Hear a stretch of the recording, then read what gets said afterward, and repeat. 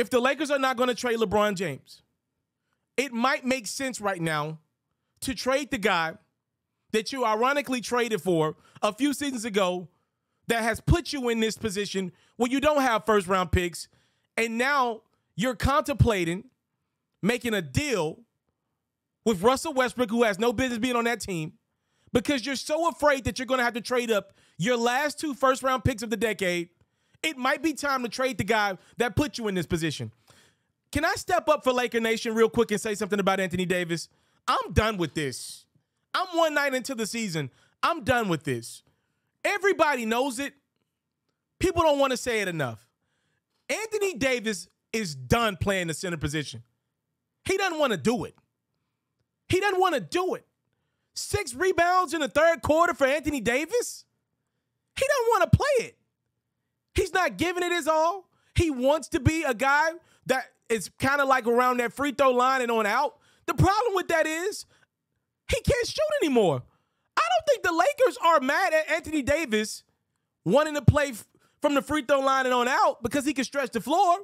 The problem is Anthony Davis some somehow some way over the last 2-3 years has lost that beautiful jump shot that helped make him one of the most dominant forces in the league because he can give it to you inside out. If he's only going to be a guy that attacks from the inside, he's not strong enough. He's not big enough to do the Giannis thing, the Joel Embiid thing. He's not big as them guys. Nowhere near big as those guys. The Jokic thing, even. He can't dominate in just the paint.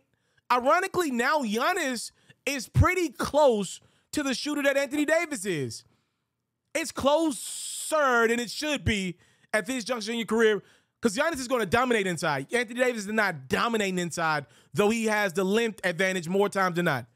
Anthony Davis ain't playing the five. He's already let it be known that he doesn't want to do it.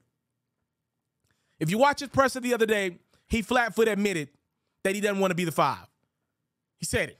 He said, I'm sure Coach Ham has heard me give my opinion on playing the five. Go look it up. If the Lakers are not going to trade LeBron James, which I don't think they're going to do because of the brand that LeBron has built, it might make the most sense to move Anthony Davis off right now. I'm talking about for uh, the team, the organization, for the future of the Lakers. I think I'd be more comfortable with losing, with just LeBron James going and getting his stats, chasing Kareem.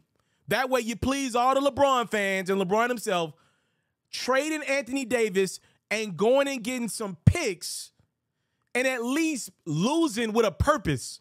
Right now, the Lakers are losing with no purpose. We're going to be a lottery team, but we don't have a lottery pick next year because we traded all the picks to go get Anthony Davis, the guy that number one cannot stay healthy for 50 games a year anymore, and number two does not want to play the center, even though he should be the Lakers center.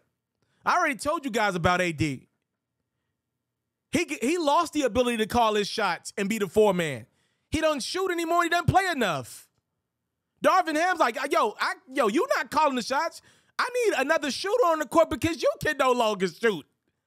I'd rather watch the Lakers lose and at least have some picks going forward. I can't even watch the the, the up and coming Scoots, the the Victor Wembanyama's I can't even watch them with pure pride because I know we don't have a chance to get him, even though we're as bad as the teams that need to get Victor Wembanyama or Scoot. Here is the reality of the situation. Two things. I think I'd rather have Bam Adebayo right now than Anthony Davis because at least Bam isn't running from the center position. AD is running from the center position.